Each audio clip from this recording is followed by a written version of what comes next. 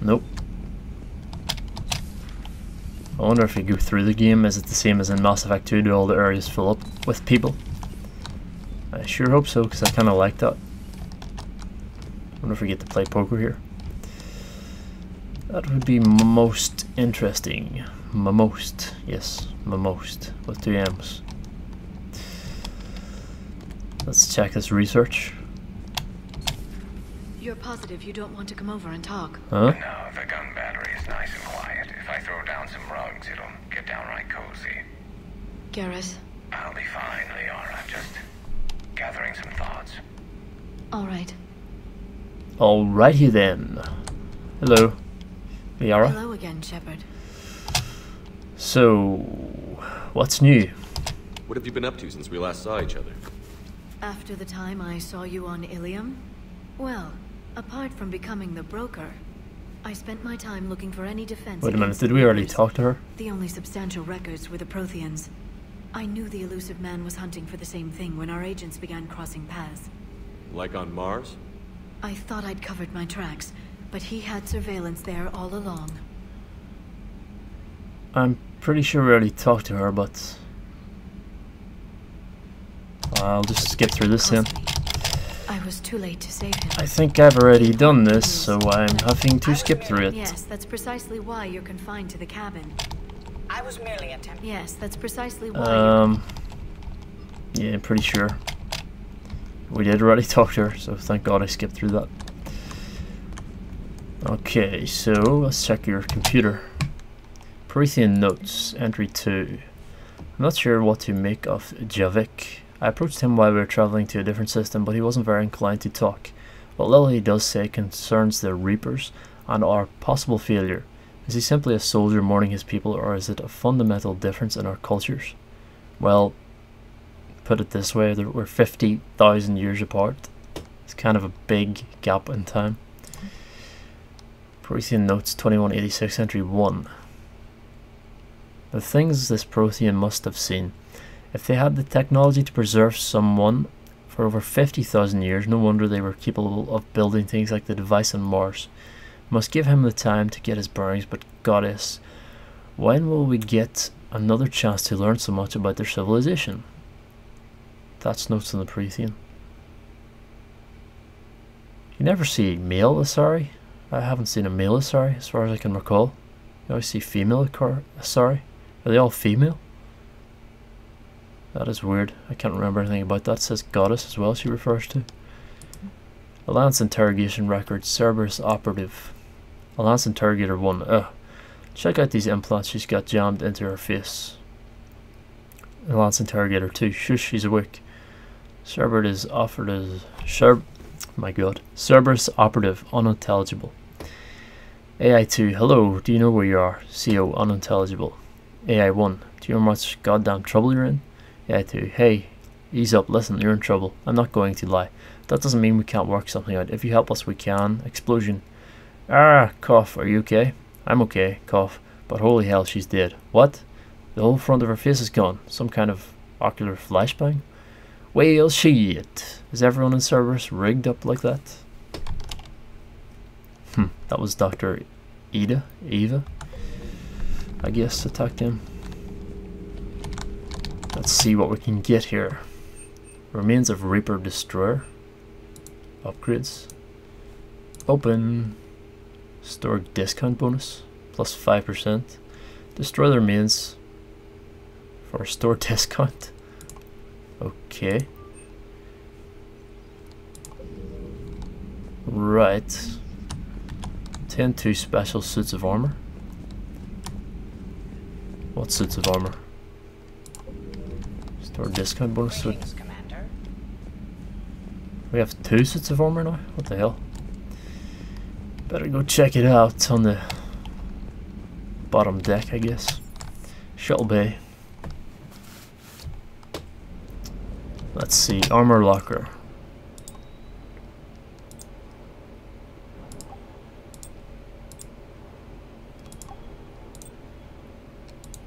Kassa fabrication. Armax arsenal. Interesting.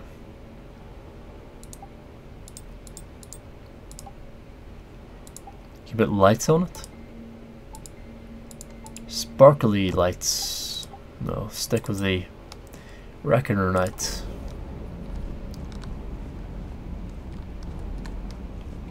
Let's check this dog, see if it does anything new. Hey doggy. Scan me. Can you do anything? Hey there. Stupid dog. Doesn't do anything. What a waste. You got anything to say, James? From one James to What the another. hell's up with EDI? She's found a new home, I guess. A super hot, sexy home. Huh. You take her on a mission, I'm gonna be just a little bit distracted. Well, I won't take you then. Um, already asked about all this shit, didn't we? Well, catch you later. Talk to you later. You bet. Although I probably won't.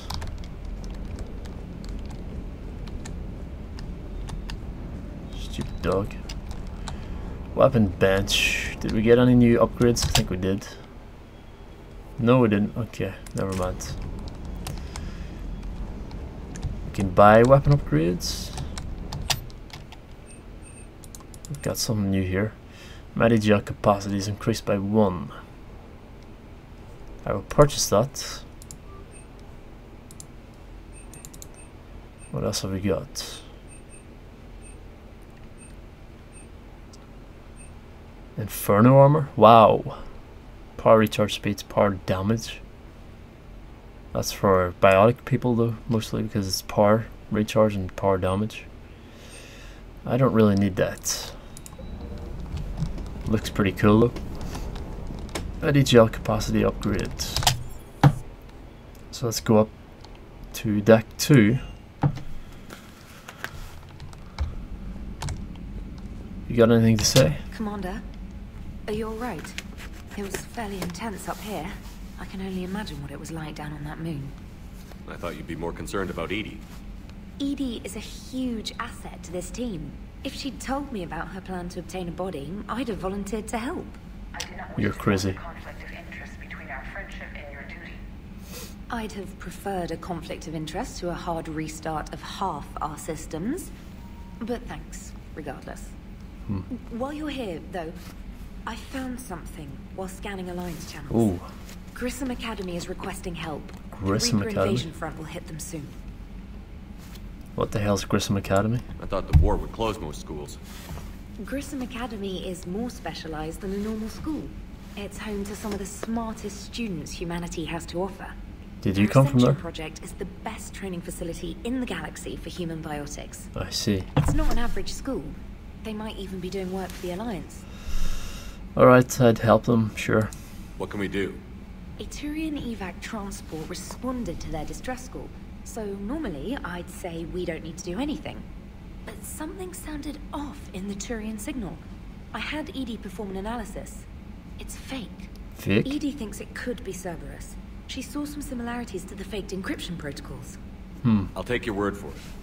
In any event, whoever faked the signal wants us to think Grissom Academy's being evacuated. But I believe they're still in danger. It's worth a look. Put it on the map. Adding it now, Commander. Sweet, thanks. Grissom Academy. Got any new mail? Nope. Okay. Hardy, we haven't even been off the ship, so let's go see what Joker's up to.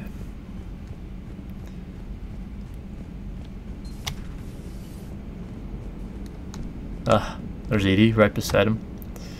Looking good. Looking damn good. Right, what's Joker have to say? Hey, Commander, check out my co-pilot. Pull yourself together. She plugged herself into Cerberus Tech without authorization. Well, technically, she is Cerberus Tech, so Not helping, Joker. I've run the checks, Commander. She's still based in the Normandy. Running this body just gives her a little more flexibility. Sweet, sweet flexibility. I am right here, Jeff. Yes, you are, EDI.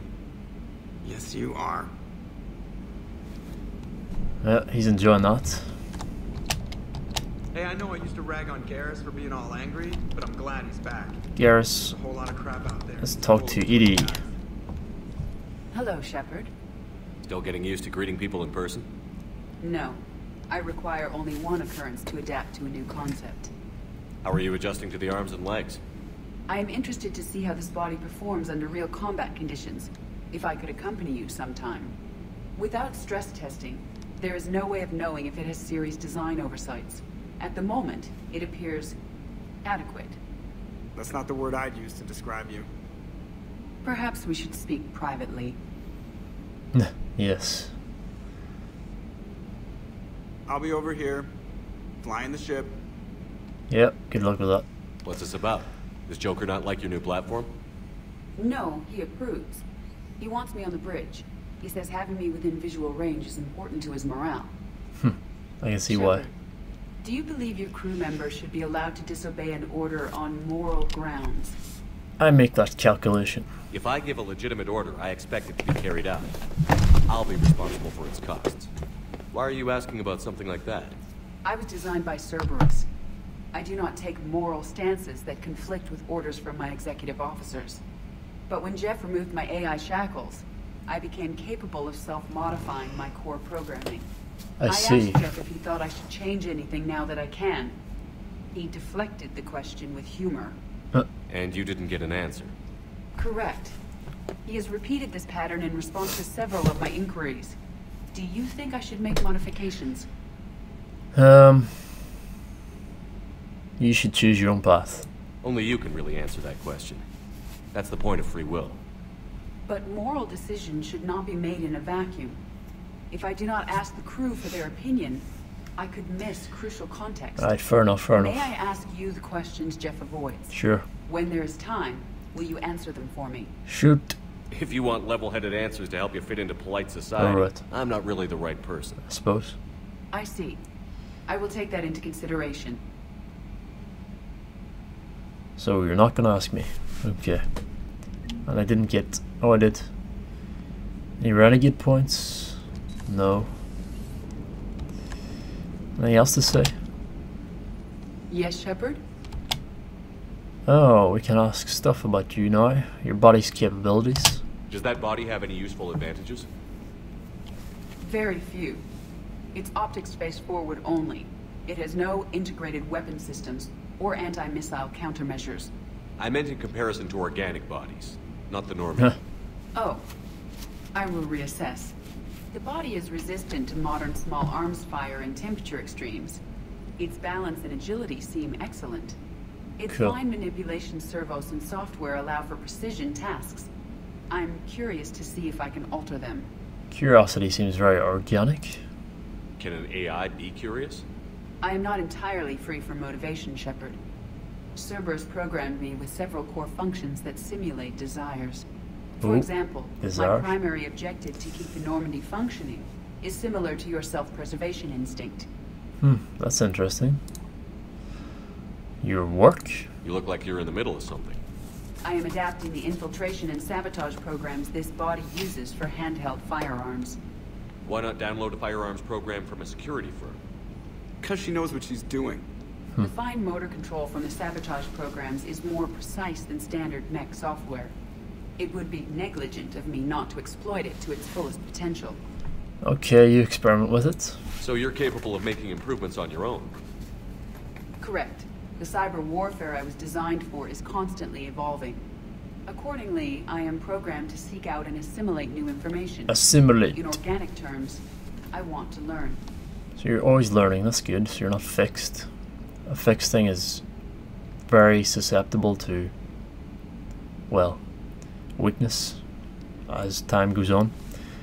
As it outdates itself, so she's constantly upgrading, updating. That's good. So, what do you think of your new body? How's the new body working out? It is interesting. The crew are approaching this platform to speak to me, even though they can do so anywhere in the ship. yeah, it's as if they wish humans. to treat me as part of the crew. I am not, but this changes my perspective. I like Interesting. You like things? I didn't realize you had preferences.